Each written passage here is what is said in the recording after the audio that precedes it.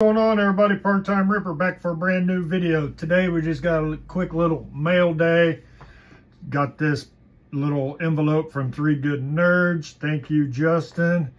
I have no idea what it is but i would probably guess it's probably some rickey henderson cards but that's just a guess.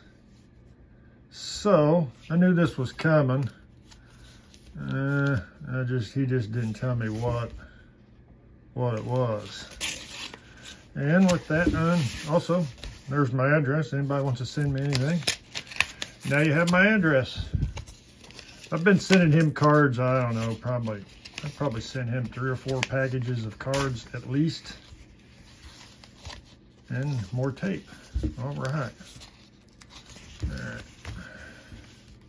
Let's cut this. Don't forget to like, comment, and subscribe while I'm trying to get into this little card.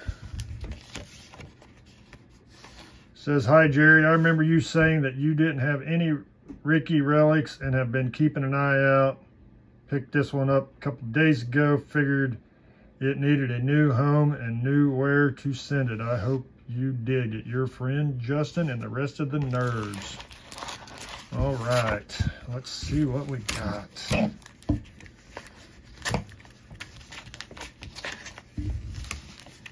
Oh, that's awesome. If I can get it untaped, that is sweet. Thank you, Justin. Yes, it does need a new home. Official game used bat, field of game. Rickey Henderson when he was with the Mariners from, looks like 2001 Fleer.